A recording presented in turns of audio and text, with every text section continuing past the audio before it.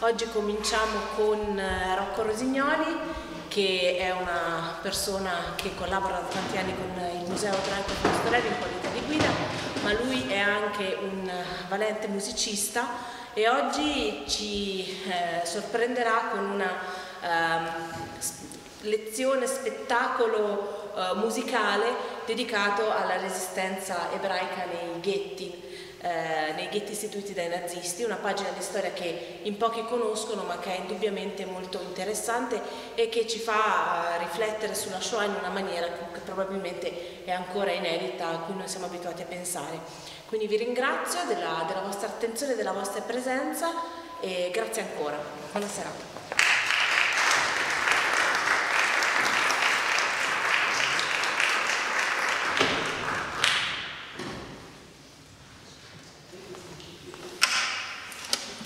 Bene, buonasera a tutti. Tanto vi ringrazio di essere qui quest'oggi, non avete sfidato il maltempo di questa giornata uggiosa, grazie per essere qui davvero. E come anticipava Roberta, quello di cui ho intenzione di parlarvi oggi è la realtà della resistenza nei ghetti. Prima però volevo partire sul concetto di ghetto. Che cos'è il ghetto? La parola ghetto noi ancora oggi la usiamo molto spesso, anche nel linguaggio comune, intendiamo magari una zona degradata della città dove vanno a vivere le persone che non possono permettersi di stare altrove, insomma le fasce più povere della popolazione. Oggi quello della ghettizzazione, diciamo così, in senso figurato, è un processo che avviene in maniera spontanea, se non proprio spontanea, in maniera non forzata dall'autorità, ma forzata dalla condizione economica. Eh, la parola ghetto però, quando nasce, nasce per descrivere qualcosa di differente. C'è da fare un viaggio nel tempo, andare agli inizi del 1500, per la precisione nel 1516, e c'è da andare nella città che forse all'epoca era una delle più ricche del mondo, Venezia. 1516, Venezia. In questa città, a un certo punto, quell'anno, i mercanti che li comandano per alzata di mano decidono che una componente della popolazione deve andare a stare sull'isola, deve essere chiusa lì dentro, da lì non può uscire, non può avere contatti con i cristiani e le rare volte che gli è concesso di uscire deve indossare un segno distintivo. Insomma, la colpa che avevano queste persone era quella di avere una religione, all'epoca si poteva parlare degli ebrei proprio come solo di un gruppo religioso, di avere una religione differente da quella della maggior parte della popolazione. Mismo cielo, misma estrella, misma luna. Esta noche están tornando una a una. Mismo cielo, misma estrella, misma las sombras de antiguas caravanas,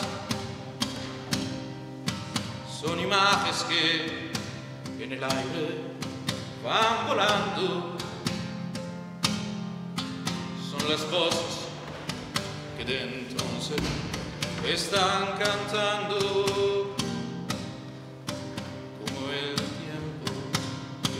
hace su camino.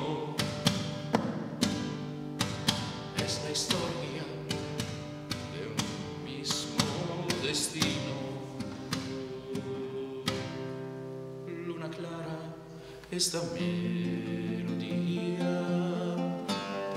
es nacida en la judería. Cuando tus rayos de plata brillaban sobre el mundo y mil voces cantaban.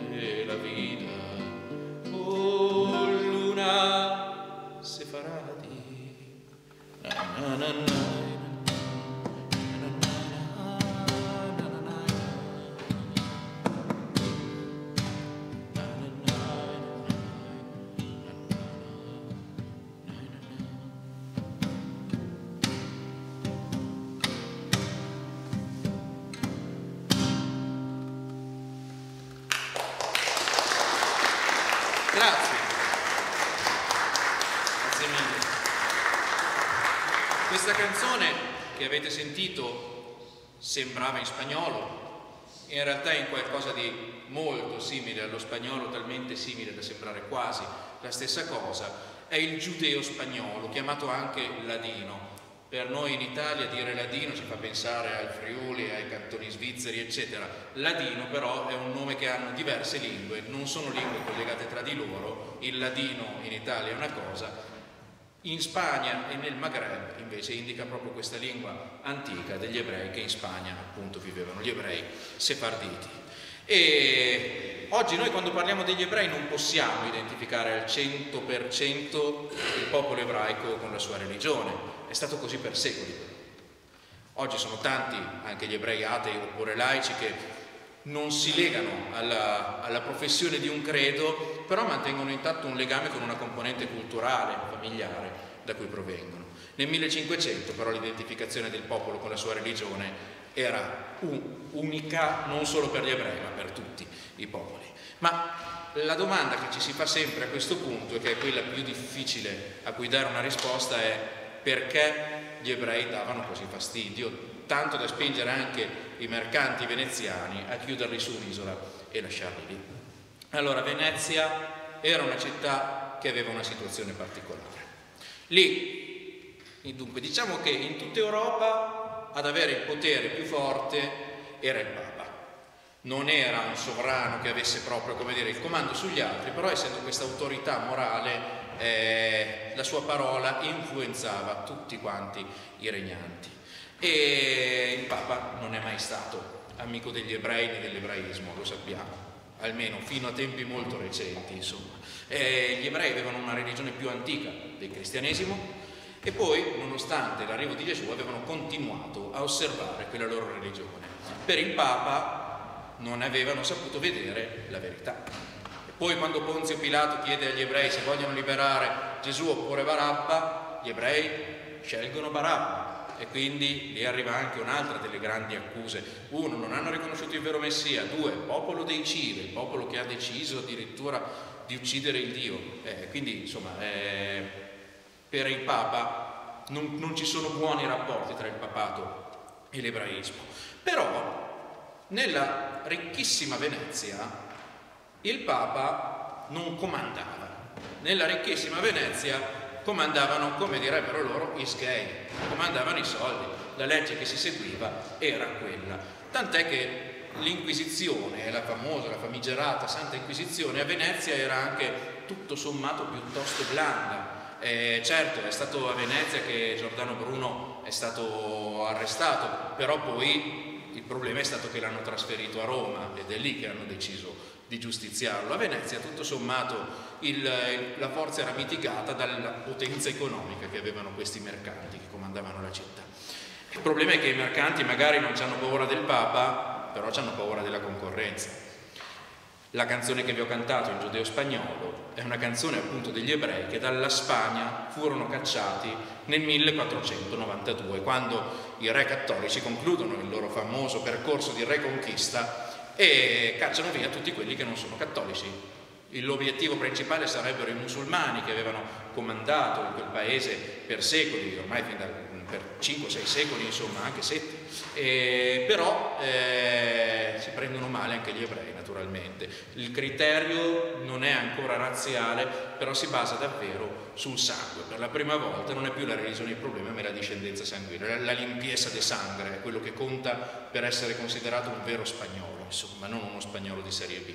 Gli ebrei vengono cacciati, si spargono lungo le coste dell'Africa, quindi lungo il Maghreb, l'Africa settentrionale, e in molti vanno verso dove fare così per voi, verso l'impero ottomano, verso l'impero turco, eh, perché lì in una zona musulmana hanno la possibilità di vivere sotto lo statuto dei dimmi, che sono quelli che seguono il libro. Eh, non importa se lo interpretano male, seguono, diciamo, seguono male il Dio giusto, quindi vanno trattati bene, vanno rispettati, quantomeno va mantenuta la loro integrità fisica. Ecco. Era un po' diversa all'epoca la, eh, anche diciamo, la, la, la, tolleranza geopolitica in generale. E, però lungo il percorso verso l'impero ottomano si passa anche da Venezia per molti, e quando ti trovi a Venezia scopri che lì il Papa non conta, che lì molti hanno la possibilità anche di arricchirsi, molti venivano magari da famiglie di mercanti, non ricchi mercanti,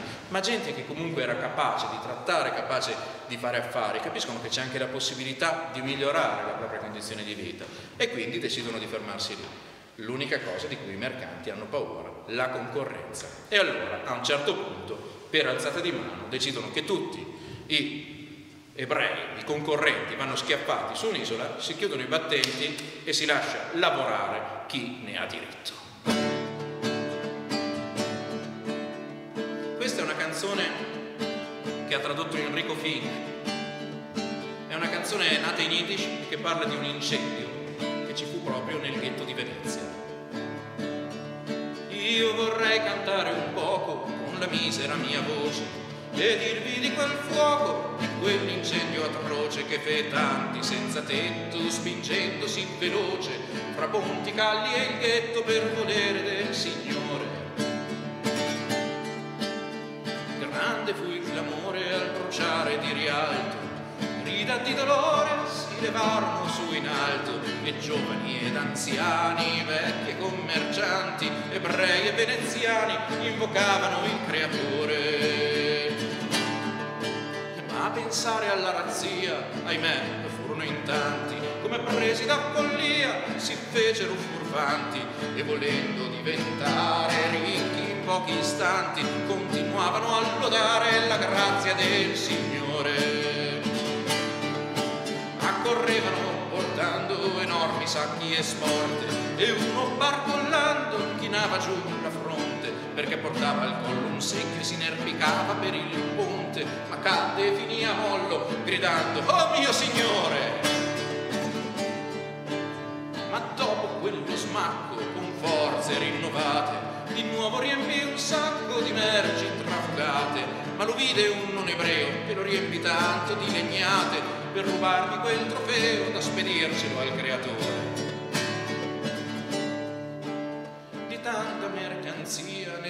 Rimasta solo una, una forbice da salto. Però gli cadde via e sprofondò in laguna. I poveri restano poveri, non muta la fortuna, ma in fondo sono gli umili, gli eletti del Signore.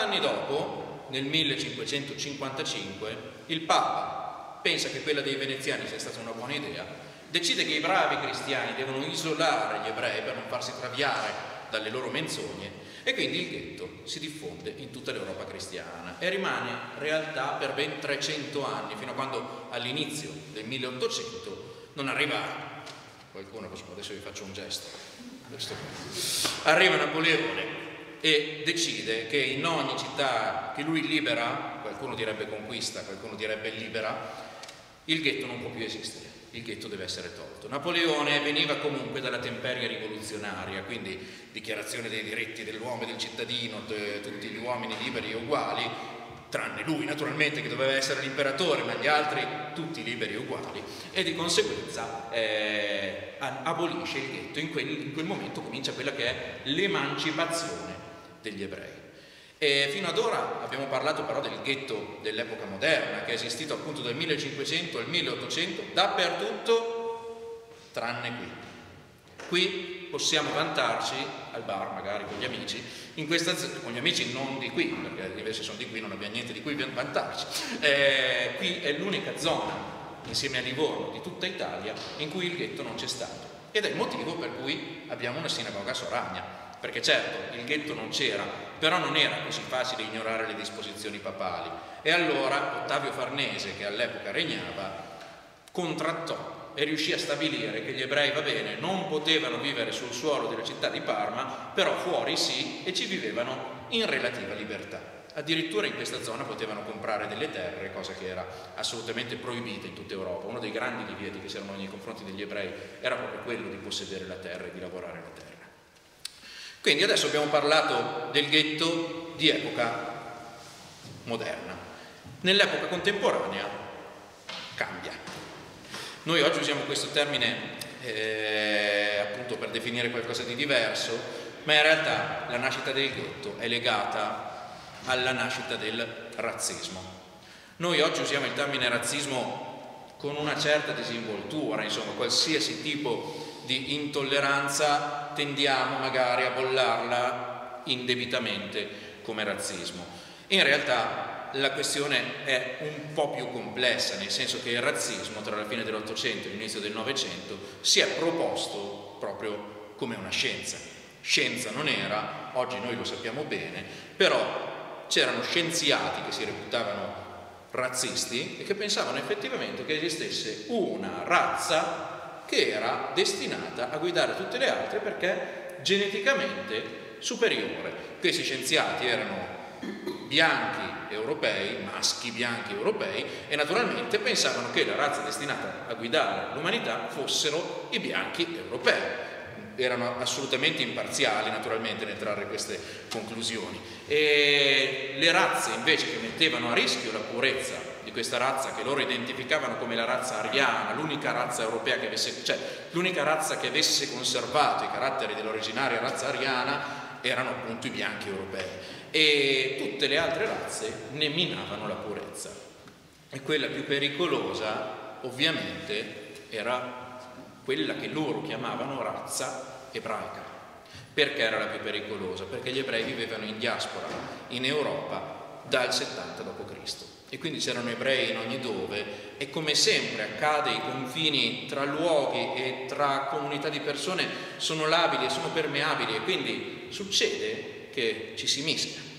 E mischiare per questi biechi personaggi era la cosa peggiore che si potesse fare. Di conseguenza gli ebrei erano il pericolo forse maggiore rispetto a tutte le altre razze, perché le altre razze avevano caratteristiche anche visibili che le rendevano più facilmente distinguibili. L'ebreo invece si era talmente integrato, soprattutto dall'emancipazione in poi, che era anche difficile riconoscerlo a vista e quindi bisogna assolutamente correre ai ripari.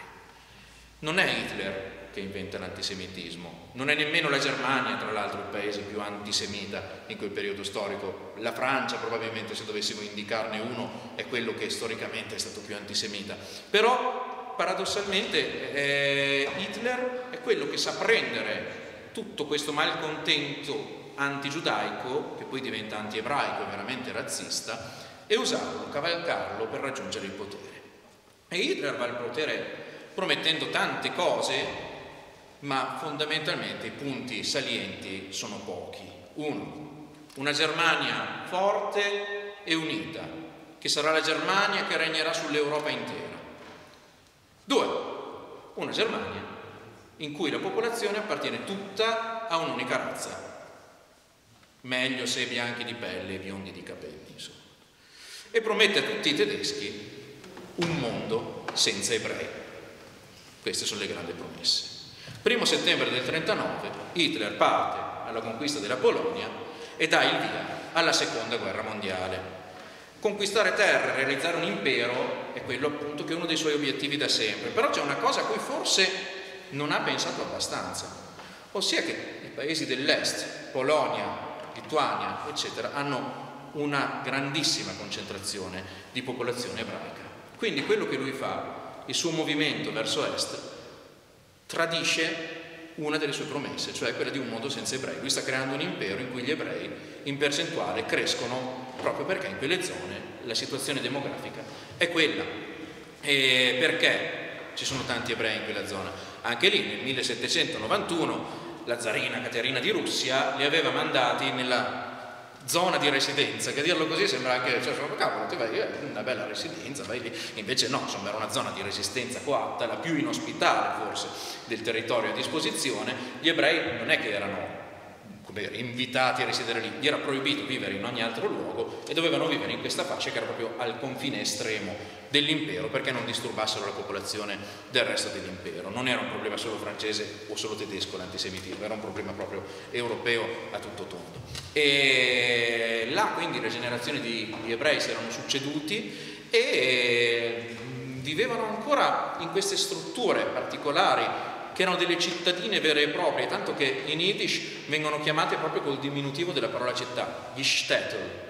Stadt in tedesco vuol dire città, Städtel è la, il suo diminutivo Yiddish, piccola città, cittadina, villaggio magari diremmo noi. Erano in genere strutture eh, fatte di case effimere, fatte con legno, fatte con materiali eh, facilmente deperibili e anche, come dire, eh, nel senso c'era da evitare di investirci troppo lavoro perché da un momento all'altro venivano devastati questi paesi, proprio, a volte anche proprio per legge si scatenavano i pogrom contro la popolazione ebraica e di lì venivano scacciati, andavano, quelli che sopravvivevano naturalmente, andavano a vivere altrove.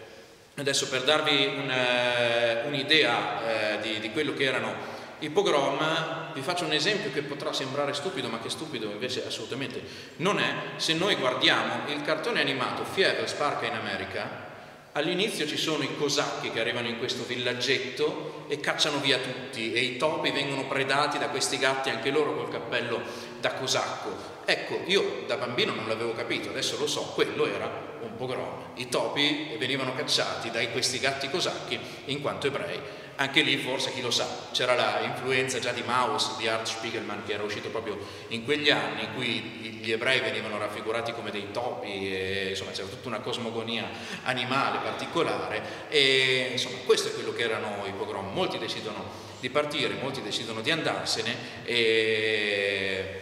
però la concentrazione ebraica in quella zona rimane comunque molto alta. L'espansione verso est della Germania fa crescere la percentuale di popolazione ebraica nel Reich, all'inizio gli ebrei che vivevano in quelle zone ancora non si immaginavano bene ciò di cui i nazisti sarebbero stati capaci. Nel gennaio del 42 i vertici politici tedeschi però decidono di adottare la famosa Endlösung, la soluzione finale conferenza di Wannsee, questi qua, Hitler non c'è, decidono senza di lui che insomma in qualche modo bisogna adottare una soluzione finale. Prima avevano fatto delle fucilazioni di massa, però le fucilazioni di massa avevano un problema, ossia a parte il dispendio che magari sarebbero stati anche disposti ad affrontare, i soldati rimanevano traumatizzati e quindi per disumanizzare il, il processo si arriva all'idea dei campi di sterminio. E i campi di sterminio hanno però bisogno anche di una sorta di serbatoio, di vivaio in cui tenere eh, le persone che ai campi poi devono andare. E allora viene rispolverata l'idea del ghetto, la popolazione ebraica viene riconcentrata in delle zone delle grandi città, da lì non può muoversi, periodicamente i nazisti arrivano e prelevano persone da portare allo sterminio. All'inizio non si immaginava Addirittura abbiamo Marek Edelman, che era un attivista politico che poi diventa un partigiano del ghetto di Varsavia, che ci racconta che nell'autunno del 39, quindi a invasione già avvenuta, gli ebrei continuavano nella città con le loro attività anche sotto l'occupazione tedesca. Lui a quel tempo è un esponente del Bund. Il Bund che cos'è? Il Bund è un partito politico, un partito socialista ebraico. È un partito eh, che all'epoca è l'avversario diretto, potremmo dire, all'interno della, della realtà ebraica, è l'avversario diretto del sionismo. Il Bund è antisionista, anzi è proprio per la Deutschkeit, cioè do, do vuol dire è il da tedesco, cioè qui, stare qui, lo stare qui. Per noi queste sono le terre dei nostri antenati, sono queste le terre in cui vogliamo vivere e vogliamo viverci come uomini liberi e per liberarci quale metodo migliore del socialismo. L'ha pure inventata Marx, che era uno di noi, quindi insomma, eh, e loro la interpretano naturalmente in chiave identitaria, ma comunque aperta a qualunque esponente di popolazione, anche non ebrea. Certo, la base è profondamente, il proletariato ebraico, insomma. Marek Edelman è uno di loro e ci racconta questa cosa e lo rincontreremo più avanti. Anche a Cracovia c'è un altro attivista politico, sempre bundista, che già nel 1938 avvertiva i suoi correligionari dell'incendio che stava per divorare per l'appunto il loro Statel.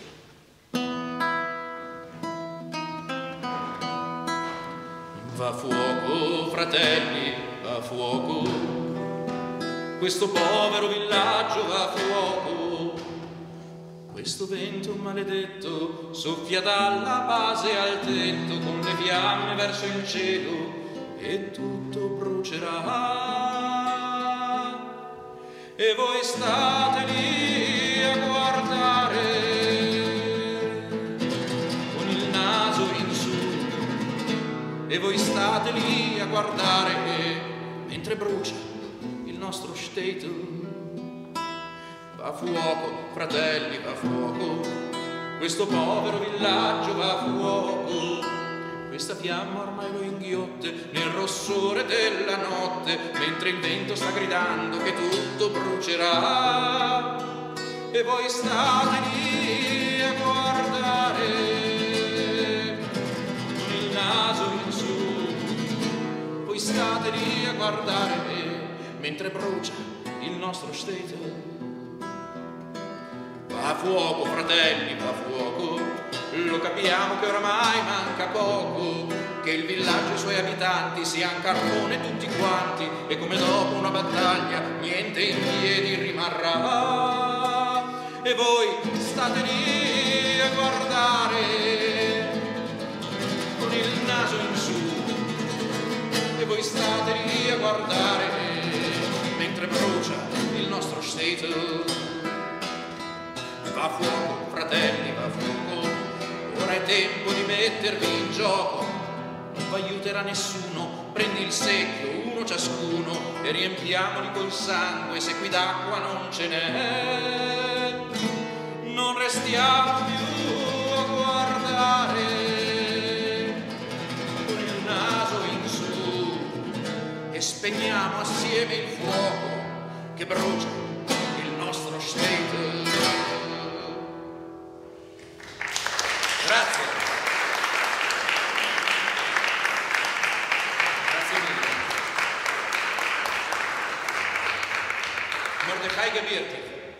Mordecai Mordechai in realtà in Yiddish, Mordechai Gebirtig, è il nome che, che usiamo noi per, per chiamarlo. È il grande cantore del ghetto di Cracovia. Oggi parleremo molto di lui. Le sue canzoni offrono uno spaccato sociale molto colorato di quello che era l'ebraismo dell'Europa orientale. Quell'ebraismo che poi, seguendo i piani nazisti, è stato spazzato via con la Shoah. La catastrofe che ha sterminato 11 milioni di persone, di cui 6 milioni erano ebrei. Quella catastrofe che culmina con la costruzione dei campi di sterminio, dei complessi industriali fatti per uccidere il maggior numero di persone nel minor tempo possibile e con la minor fatica da parte degli addetti all'assassinio Tecnica e scienza, che vuol dire anche tecnici e scienziati, si sono messi al servizio di un progetto grandioso ed efficiente, razionale e consapevole di assassinio di massa. Non si tratta di una grande quantità di morti prodotta dalla guerra, è un'altra cosa, questo purtroppo succede ancora oggi in tanti posti. Si tratta di un progetto ad ampio spettro per rimuovere una componente della popolazione individuata sulla base di caratteristiche etniche o come direbbe chi l'ha ideata, caratteristiche razziali. Però, prima di raccontarci tutto questo, Gebirtig ci racconta tanto altro. Ci racconta della crisi economica, di come le strade della sua città sono piene di disoccupati, ma anche che è proprio in queste condizioni di disagio che nasce quello spirito di mutua assistenza che caratterizza la classe operaia e in particolare l'idea politica che è propria del Bund. Questa è la sua marcia dei disoccupati. Lui naturalmente scriveva in lingua yiddish, queste canzoni le ho tradotte io perché secondo me sono troppo belle perché un pubblico italiano non possa seguirli, insomma.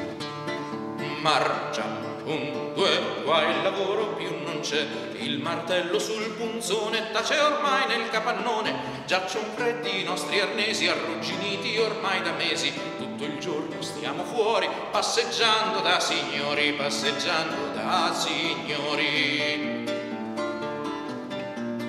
Marcia, un, due, qua il lavoro più non c'è, senza soldi e senza tetto, paglia e fango il nostro letto, ma quel poco che ci resta si spartisce un poco a testa. Prendiamo come ereditieri, ma con l'acqua nei bicchieri, ma con l'acqua nei bicchieri.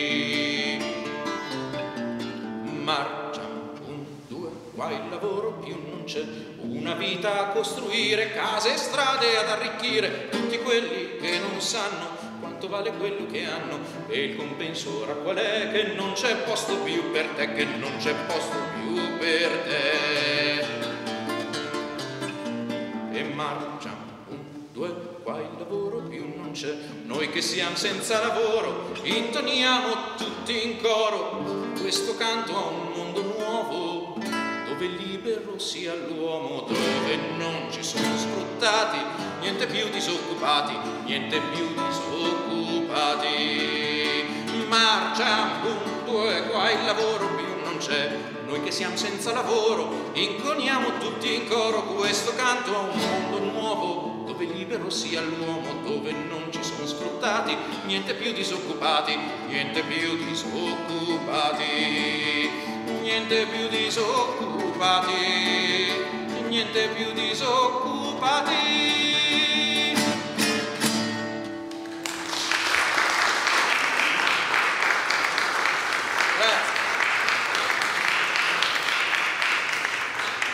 Ghibirti ci racconta quindi la realtà politica della sua comunità, però non solo, non è l'unica cosa di cui parla. Noi grazie a lui abbiamo anche un quadro della condizione familiare e della condizione femminile della vita nelle famiglie più tradizionali.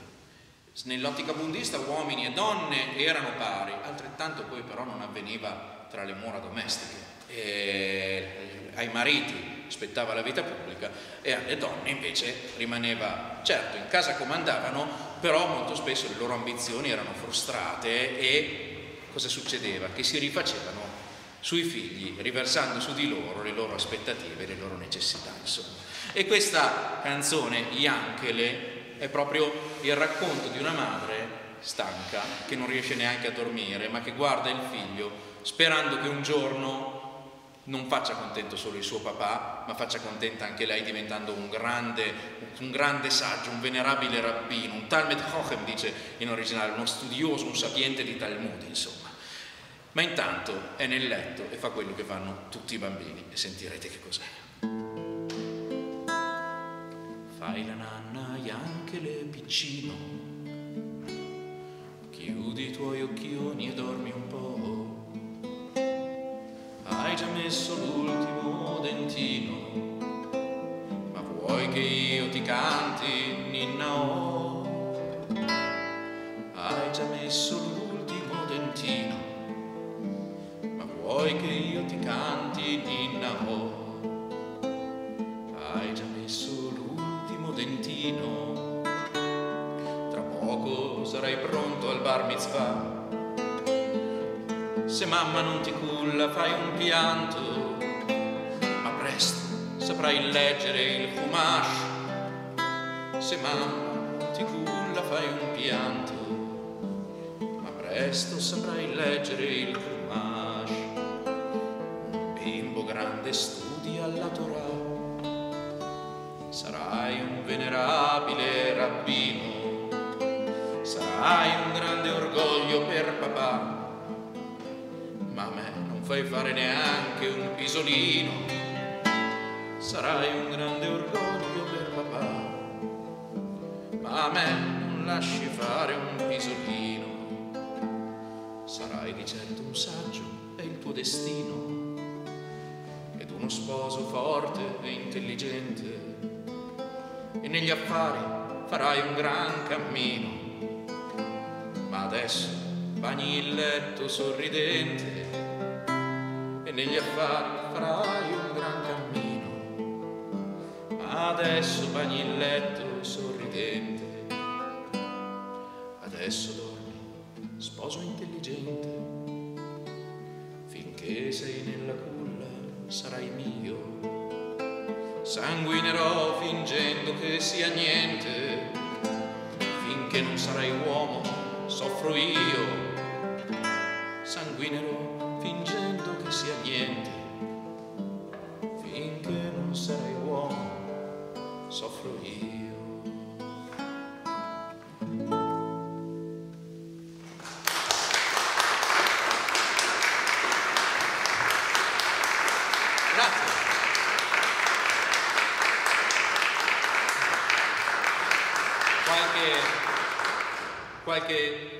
Qualche, guida per decifrare alcune delle cose che vi ho cantato, magari molti sanno già di cosa sto parlando, per altri è un po' più difficile. Magari il bar mitzvah in generale più o meno tutti sappiamo che cos'è, una cerimonia che i ragazzi fanno al tredicesimo anno d'età per entrare nella vita religiosa adulta, le ragazze che crescono prima per tutti la fanno a 12 anni, i ragazzi invece a 13. E, e invece il, il Humash, magari qualcuno è rimasto un po' così, Humash che vorrebbe dire qualcosa tipo la cinquina, sono i primi cinque libri dell'Antico Testamento, quella che viene chiamata anche la Torah, la parte rivelata dell'Antico Testamento. E la Torah, appunto, sapete che cos'è? E, sì, c'è questa cosa che traducendo dallo Yiddish purtroppo ho dovuto scegliere di tradurre con rabbino, però era molto bello perché era un Talmud Hochem con queste parole che arrivano dall'ebraico ma nella lingua eh, Yiddish prendono questa pronuncia che sembrano quasi parole tedesche e vuol dire uno studioso, un sapiente di Talmud, ecco, un saggio del Talmud. L'impegno politico e la vita familiare, quindi sono due dei pilastri su cui si fonda la poetica di questo grande cantore che è Mordechai Gebirtich. Ci racconta la vita ebraica della Polonia occupata, ma anche la quotidianità di una famiglia normale, anche della sua famiglia, che non è troppo religiosa. E di questa famiglia fa parte naturalmente anche il sentimento amoroso. Osservando sua figlia, Schifre, e il suo giovane fidanzato che si chiamava Enech Stamberger, Gebirtig scrive questa canzone d'amore che è tenera e spensierata, che io trovo deliziosa e che si chiama Reisele. Questo Jankele, Reisele, come Statel, questa L finale è un po' il diminutivo vezzeggiativo che c'è nella lingua yiddish. Reisele è un nome di donna e sentiamo un po' che cosa succede tra lei e il suo innamorato. Zitta in fondo a un vicolo, dorme una casupola e al suo pian terreno vive la mia amata Reisele. Io passeggio lungo i viali, ogni sera vado lì, faccio un fischio, chiamo Reisel, vieni qui. Apre la finestra e la sua casa si illumina, la sua voce lungo il vicolo risuona e Reisele. Se mi aspetti ancora un po', scendo giù da te. Nel frattempo fatti un giro, un, due, tre. Io sorrido e scalpito, qualche noce snocciolo e poi sento sulle scale il suo passo minuscolo. Prima che il suo piede tocchi l'ultimo scalino, io l'ho già stretta al mio petto, vieni qui. Lei mi dice, Dovidel, non devi fischiarmi più, mamma trova sconveniente come in strada fischi tu. Non s'addice a un buon ebreo, pensaci per me, non fischiare da una voce un, due, tre e io rispondo amore mio non fischierò più per te seguirò tutti i precetti devi solo chiedere ogni giorno pregherò e il settimo dì andrò in sinagoga ma ora vieni qui. Io ti credo dice lei e un regalo ti farò una borsa per il defilin all'alba cucirò a mano cucirò. Quando al tempio arriverai potrai dire che la cucita la tua Reisel un, due, tre. Non ne vedo l'ora sai quanto t'amo Reisel amo la tua mamma il vicolo e la tua casupola. Amo i sassi su cui tu cammini tutti i dì. Ma c'è mamma che ti chiama vieni qui. La saluto e resto un po' qualche noce snocciolo. Sento che sale le scale il suo passo minuscolo. E nel suo vicolo che dorme io fischio così, sognerò te, dolce Reisel, vieni qui.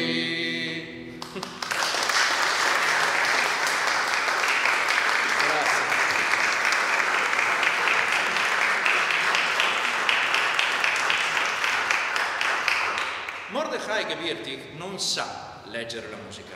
Lui all'inizio era un attore e un autore teatrale. Scriveva e recitava in lingua yiddish, che era lingua appunto degli ebrei dell'est Europa, lingua di base tedesca con forti influssi da parte della lingua ebraica, che era la lingua del sacro. Le recensioni che parlano del suo lavoro parlano di un interprete eccezionale e prevedono per lui un futuro da attore professionista. Purtroppo però Gebirti, che era cagionevole di salute, è diabetico e inoltre ha una malattia cardiaca cronica, l'angina pectoris.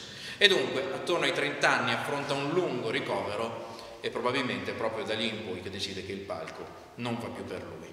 E allora sceglie di vivere dello stesso lavoro di suo padre e anche di suo fratello, quello di mobiliere. Lui restaura e vende mobili. Però non smette di interessarsi di politica e non smette di scrivere. Partecipa alle lotte componendo poesie e canzoni. Le melodie delle sue canzoni lui le compone usando un flauto, eh, in Yiddish Pfeifele viene chiamato, e vengono messe poi sul pentagramma da un suo amico, Julius Hoffman, un pianista. E in quegli anni era raro che si facessero incisioni audio, quindi l'unico modo che abbiamo per conoscere la sua musica è leggerla, leggere le trascrizioni che ne ha fatte Julius Hoffman. E non di tutte le canzoni di Gebirtig però ci è arrivata la musica, non tutte sono state trascritte. A volte abbiamo dei testi che sono nati per essere cantati e che però non possiedono, non ci è arrivata una musica loro. E allora lì chi si fa interprete delle sue canzoni non può far altro che lavorare di fantasia, chiedersi in che modo Mordechai Gebirtig col suo flauto le avrebbe prese e musicate quelle parole. Io l'ho fatto con questa canzone che si chiama proprio Nel ghetto e ci racconta di com'è la vita e soprattutto le notti nel ghetto durante l'occupazione. Di schiavi ormai stanchi di muovere il passo ai deserti, fan le giornate nel ghetto e son bianchi i sonni mancati ed incerti, i sonni mancati ed incerti. Che mai, minuti d'orrore e paura, sperando col giorno finiscano i guai sia un po' meno dura, la notte sia un po' meno dura. Nessuno più dorme, si sta sveglio e allerta, il pensiero più cupo è con noi. Qualcuno ogni notte dalla sua coperta lo strappano sempre quei boia, lo strappano sempre quei boia. E dunque nel letto ti stringe l'angoscia se un cardine va a cigolare e il cuore nel petto i suoi battiti accorcia se un topo squittisce e scompare, se un topo squittisce e scompare. Il corpo si gela se il vento da fuori fa muovere foglie e cartacce. Non puoi dire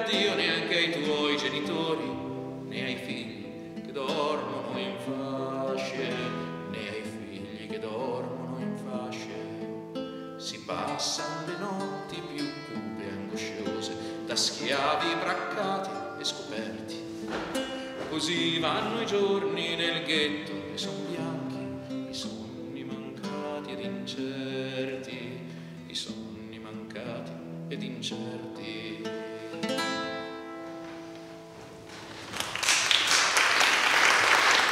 Grazie.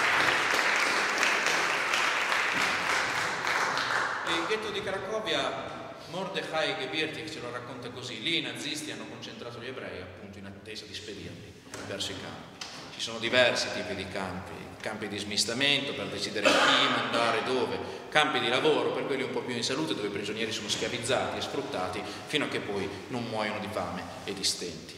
Campi di sterminio veri e propri dove chi arriva non rimane prigioniero, nell'arco di 48 ore è polvere. Di quei campi ovviamente sappiamo molto poco perché sono sopravvissuti pochissimi.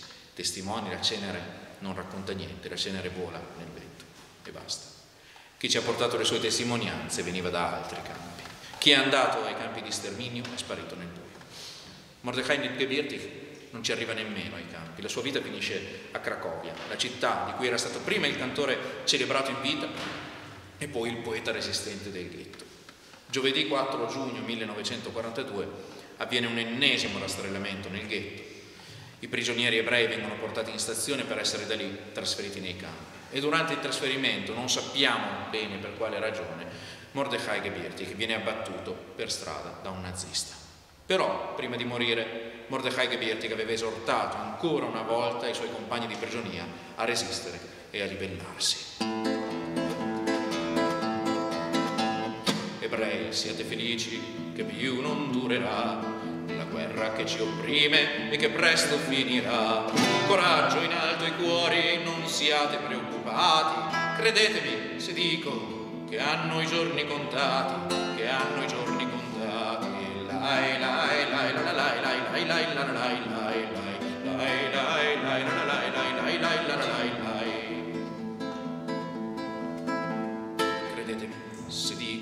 le armi che vanno forte questo nostro cuore unito ancora non son morte. E mentre danza il boia ancora non ha capito che ci ha già provato a man e sappiamo ora dov'è sappiamo ora dov'è. Lai lai lai lai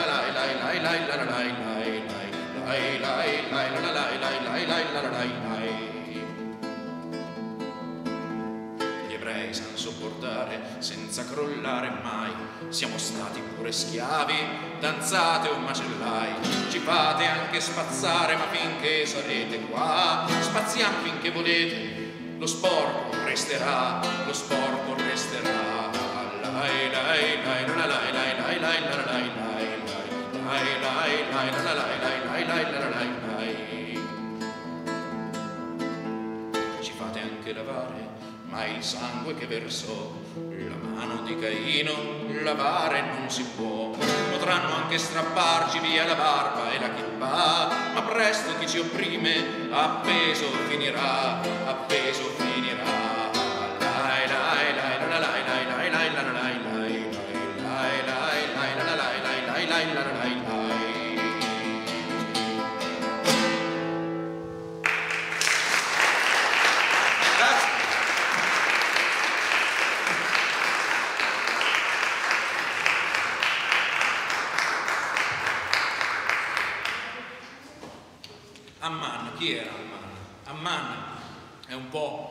Cattivo della Megillah di Esther, questo perfido primo ministro del, del re di Persia che, che, decide che gli ebrei devono essere sterminati, sarà proprio invece il coraggio di Esther, regina, moglie del re, che parlerà al marito, riuscirà a convincerlo che il suo nemico non sono gli ebrei come vuole convincerlo il perfido Amman, ma è proprio Amman che sta cercando di ingannarlo.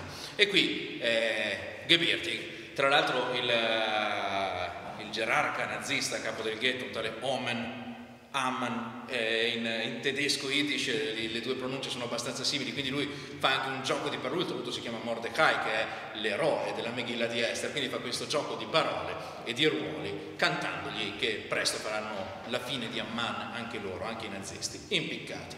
I nazisti, quelli che sono stati impiccati, sono stati impiccati molto dopo, però eh, qua in Italia invece effettivamente i loro corrispettivi sono stati impiccati abbastanza, abbastanza all'inizio insomma, della liberazione. E le invocazioni di Gebirti non cadono nel vuoto perché nel ghetto ci si organizza e si lotta. A Varsavia, Marek Edelman, ve lo ricordate, quello di cui abbiamo parlato all'inizio, e i suoi compagni del Bund, del partito, riescono a organizzarsi, uniscono diverse forze presenti nella comunità ebraica, non solo bundiste, anche organizzazioni di natura molto diversa, come per esempio i sionisti di Shomer Azair, che oggi è un'organizzazione scoutistica, all'epoca invece era qualcosa di un po' più combattivo, insomma, e iniziano a fare questa lotta clandestina grazie alla collaborazione della resistenza polacca esterna. Al ghetto, riescono a procurarsi delle armi, con delle azioni anche abbastanza eh, rocambolesche alla stazione, riescono a rubare delle armi che sanno che sono lì in giacenza e la lotta armata quindi nel luglio del 1942 comincia, poco dopo la morte di Mordechai Gebirtig. È una lotta disperata, è chiaro, ovviamente. Le possibilità di vittoria sono praticamente nulle. Eppure gli ebrei del ghetto di Varsavia lottano lo stesso e il 20 aprile del 1943, quindi oggi è quasi l'anniversario, ieri in realtà era l'anniversario ma era Shabbat, quindi non si poteva cantarla ieri questa storia, eh, mettono in atto una grande insurrezione collettiva. Mentre la guerra imperversa intorno a loro, i partigiani del ghetto lottano a loro volta. Marek Edelman è il vice comandante dell'insurrezione del ghetto di Varsavia e lui, che è sopravvissuto, commenta la scelta estrema con queste parole. Dice, visto che l'umanità si è accordata che morire con le armi in pugno è più bello che senza, allora anche noi ci siamo sottomessi a questa convinzione.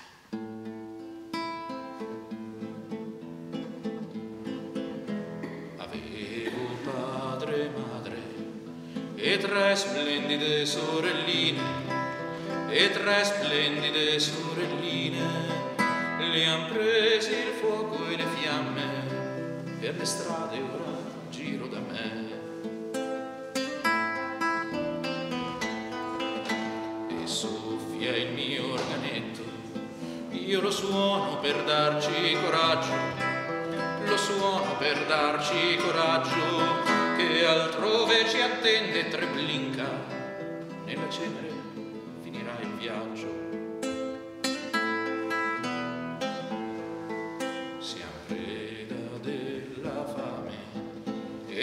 Morti qui intasano il ponte, e i morti qui intasano il ponte, alla vita torneremo un giorno, Adonai lo promise sul monte. La voce del mio canto a ogni ora pervade la via, a ogni ora pervade la via, dannato per sempre sia il ghetto e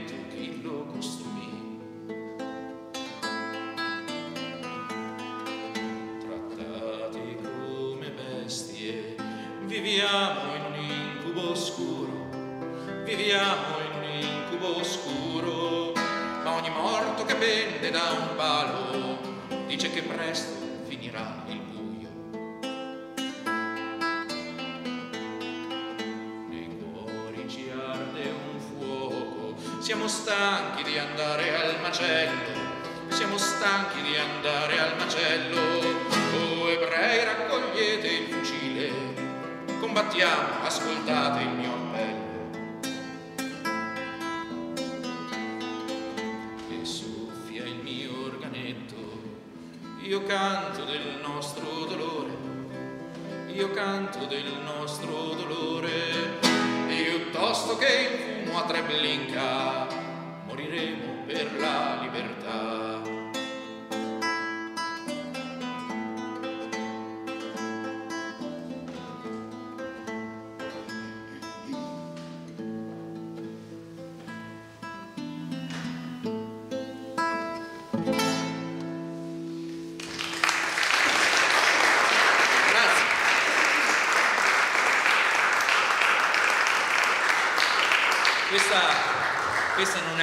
Canzone del, del, nostro amato Gebirti, questa l'ha scritta Reuven Lifshitz, un sopravvissuto del ghetto di, di, Varsavia e si chiama Der Häufsinger von Warschewer Ghetto, l'organetto, l'ho tradotta io, del ghetto di Varsavia, perché Häufsinger non ha una traduzione, una parola italiana che le corrisponde, insomma. L'eco della rivolta di Varsavia si sparge dalla Polonia, arriva fino alla Lituania e anche nel ghetto di Vilna i partigiani insorgono a loro volta. A Vilna c'è Hirsch Glick, un poeta cantore che sull'aria di un inno russo scrive proprio nel 1943 le parole dell'inno dell'organizzazione dei Partigiani Uniti. Non dire mai che questo viaggio è l'ultimo, anche se i cieli sono scuri su di noi, ora che tanto abbiamo atteso arriverà, il nostro passo dice ancora siamo qua. Ora che tanto abbiamo atteso arriverà. Il nostro passo dice ancora, siamo qua.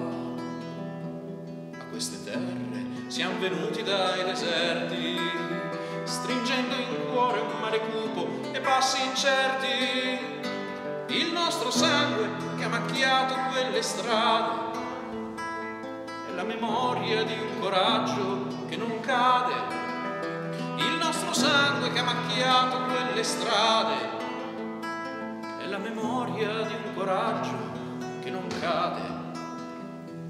Ci sarà sole sul mattino di domani.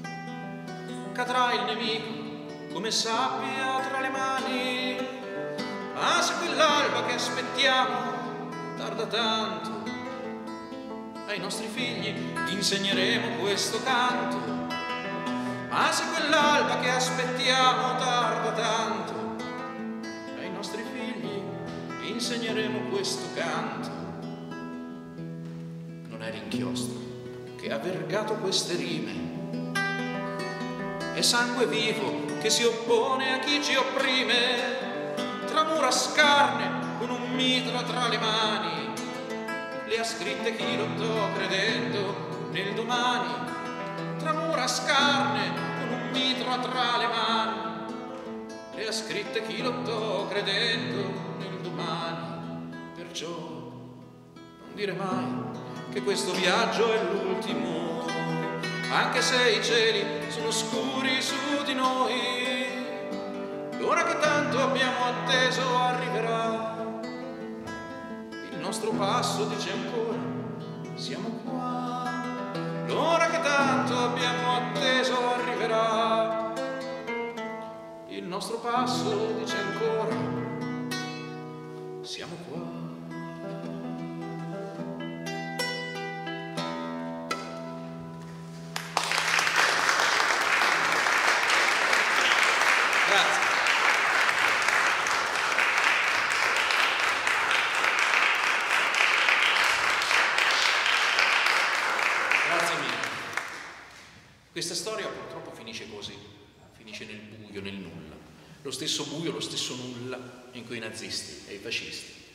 Hanno trascinato 11 milioni di persone, 6 milioni di loro erano ebrei.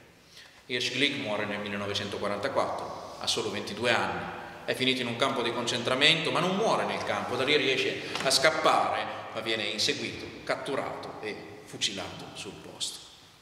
Noi questa storia la possiamo soltanto ricordare. Possiamo raccontare l'eroismo di Hirsch Glick, possiamo raccontare quello della sua compagna Witka Kemper che da sola con una pistola in mano affronta una carovana di convogli nazisti che stanno arrivando e riesce a farlo saltare in aria con una bomba a mano. Possiamo raccontare il coraggio di Marek Edelman che durante l'insurrezione del ghetto di Varsavia, quando alla fine sono accerchiati nell'ultima casa, attraverso un tombino lui e pochi compagni riescono a fuggire attraverso le fogne a portare la loro testimonianza di quella lotta al di fuori. E possiamo raccontare di Mordecai Gebirti che ci voleva cantare le meraviglie di una vita normale e che invece è finito per cantare a tutti noi gli orrori del ghetto.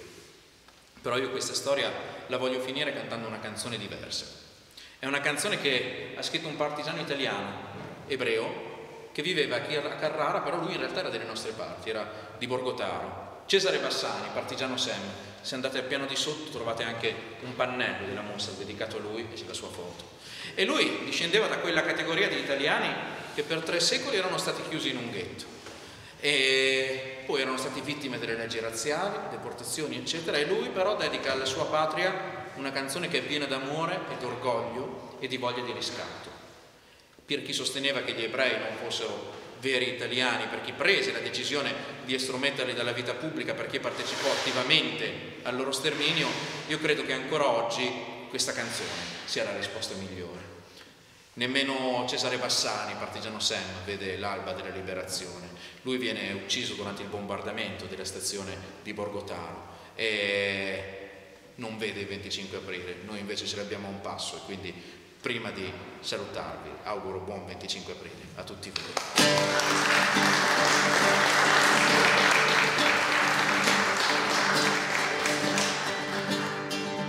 Sugli aspri monti ci siamo fatti lupi,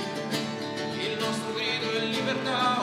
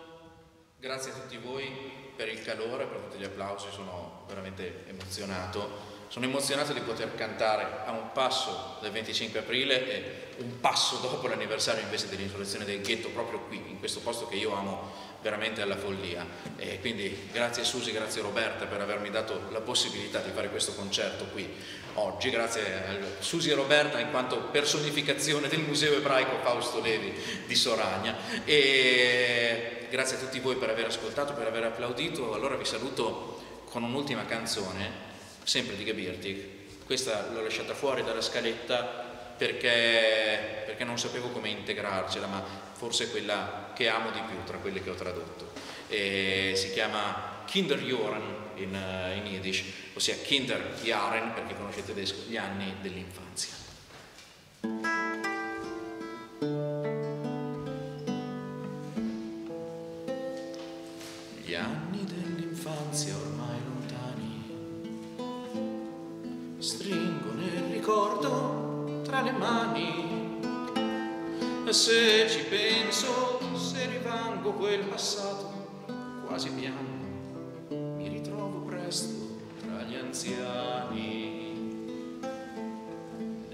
Stanza in cui sono cresciuto. C'era un letto e un tavolo minuto, il giaciglio in cui sono nato, non so più dove sia andato, come un sogno all'alba s'è perduto. Di mamma si sa, ce n'è una sola, mi mandava dal